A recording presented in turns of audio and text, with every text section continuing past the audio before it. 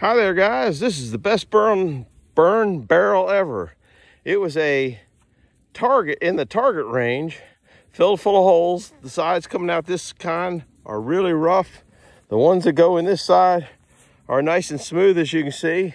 And when it gets full of ashes, because we you've been watching it burn, it starts over there, comes over here, and when it gets full of ashes, then you just kind of sift it along the ground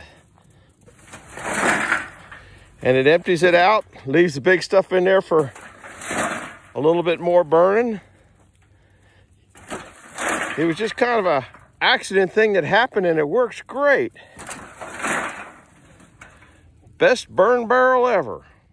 We'll see you. Stop by for more goofy stuff here. Bye-bye.